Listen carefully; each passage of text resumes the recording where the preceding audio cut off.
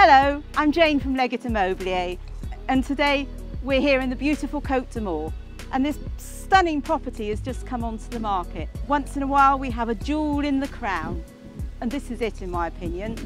It's a property that must be viewed to be appreciated. So let's go and look inside this stunning property now.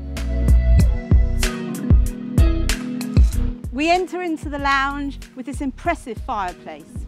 And remember the added benefit, this house comes fully furnished. So just pack up your suitcases and move in. And off the corridor, we've got a cosy dining room. Great for family meals. Easily seats six to 12 people.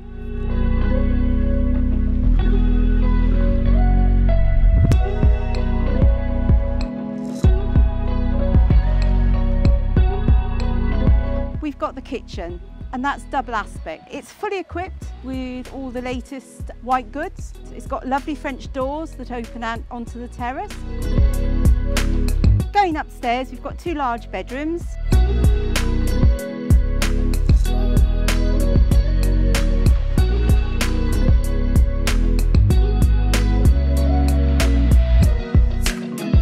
And a shower room. All with far-reaching views across the countryside. Nestled in one of the outside areas is an artist studio. Could also maybe work as a home office for somebody. The garden is separated into four Italian-style courtyards, paved and gravelled, with statues, shrubs and hedges surrounding.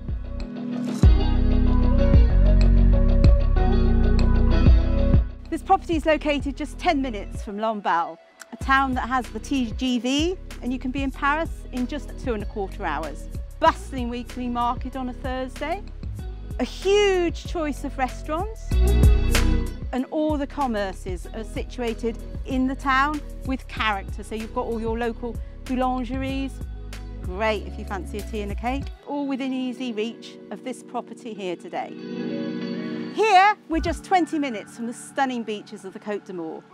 We've got Sables-d'Or-les-Pins, St Cast le Guildo, Erquy, Val André, all within easy reach.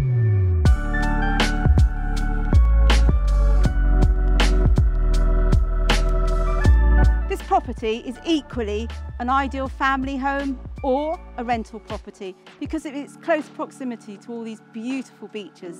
So whether you're looking for a holiday home, a primary residence, potential rental income, I really recommend an early viewing on this property. It is absolutely stunning because it just has to be seen to be appreciated. It's just sitting here waiting for you under these beautiful blue Breton skies.